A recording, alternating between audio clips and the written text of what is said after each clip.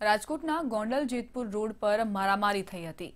ત્રણ ખૂણિયા પાસે મોટરસાયકલ અથડાવવાની બાબતમાં મારામારી થઈ જેથી પોલીસે સાત શખ્સો સામે પોલીસ ફરિયાદ નોંધીને કાયદેસરની કાર્યવાહી હાથ ધરી હતી